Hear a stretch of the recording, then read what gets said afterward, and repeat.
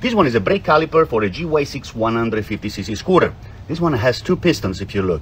Now the inside has two little pistons right here. Now when you pull your brake of the scooter to stop or your motorcycle, these two little pistons will push out.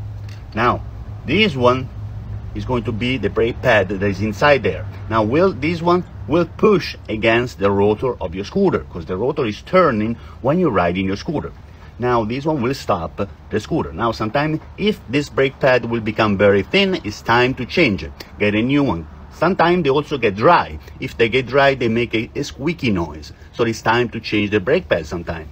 Or if they get very thin, lower than two millimeter, it's time to change your brake pad. Thank you very much for watching this video. Thank you.